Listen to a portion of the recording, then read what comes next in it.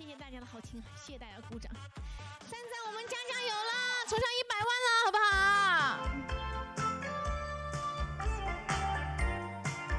好？谢谢雨城，感谢雨城哥，我学会了教你哈。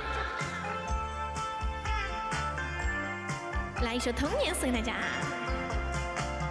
池塘边的榕树上，知了在声声的叫着夏天。操场边的秋千上，只有是谁蝴蝶停在上面。黑板上老师的粉笔还在拼命叽叽喳喳叫个不停。等待着下课，等待着放学，等待游戏的童年。福利社里面什么都有，就是口袋里没有半毛钱。诸葛四郎和魔鬼党，到底是谁抢的那支宝剑？隔壁班的那个男孩，怎么还没经过我的窗前？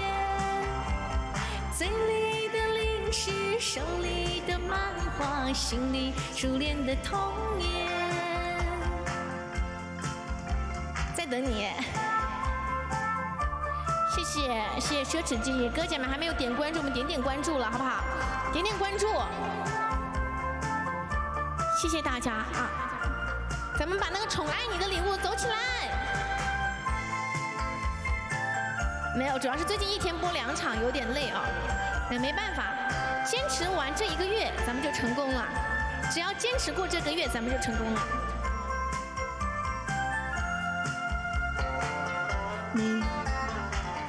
没有人知道为什么当天走下到山的那一边，没有人能够告诉我山里面有没有住着神仙。多少的日子里，总是一个人面对着天空发呆，就这么好奇，就这么幻想，这么孤单的童年，总是总是要等到睡觉前，才知道功课只做了一点点。总是要等到考试以后，才知道该念的书都没有念。一寸光阴一寸金，老师说过的曾经的那寸光阴。